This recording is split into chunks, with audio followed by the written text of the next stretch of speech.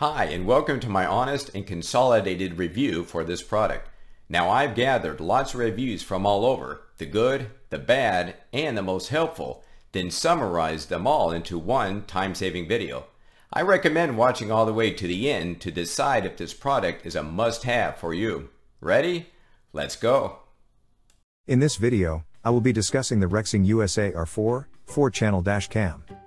The Rexing USA R4 4-channel dash cam is an excellent product that provides a comprehensive view of the road with its four cameras, including a rear-facing cam.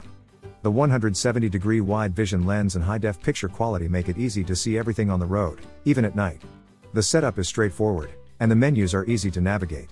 The included suction cup mount makes it easy to move from car to car, but it also has more permanent mounting options. The dashcam is a must-have for anyone who drives, as it can serve as an eyewitness in the event of an accident. The video quality is superior to most dashcams on the market today, and the use of a capacitor instead of a battery backup makes it unaffected by high temperatures. The customer support team at Rexing stands behind their product and is prompt in helping with any questions or concerns. It's an excellent choice for anyone who wants to stay safe on the road. The R4 is a solid dashcam that's well made and easy to use. The video quality is great, and the night vision is even better.